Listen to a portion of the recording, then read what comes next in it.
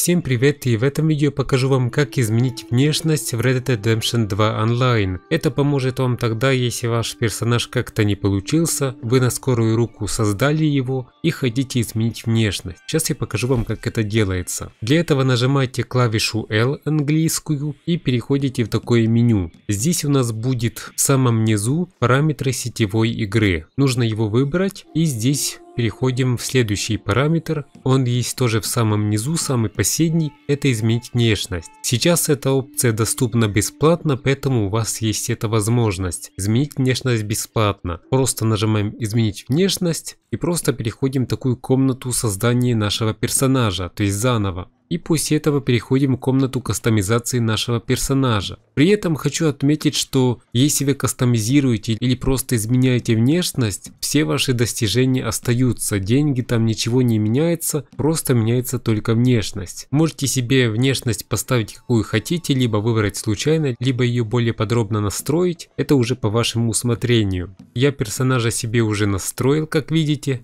он у меня получился немножко лучше, чем в прошлый раз. И после этого просто сохраняйте, подтверждайте изменения. Видите, у нас тоже написано, что это бесплатно. Все, внешность мы с вами изменили. И теперь заново переходим в свободный режим. Как видите, у нас задания все сохранились. И внешность у нас изменилась. При этом прогресс игры у нас полностью сохранился именно прогресса Red Dead Redemption 2 Online. На этом у меня все, если вам видео помогло, если оно вам понравилось, подписывайтесь на канал и заходите в плейлист моды RDR 2, там есть много чего интересного. Всем спасибо за просмотр.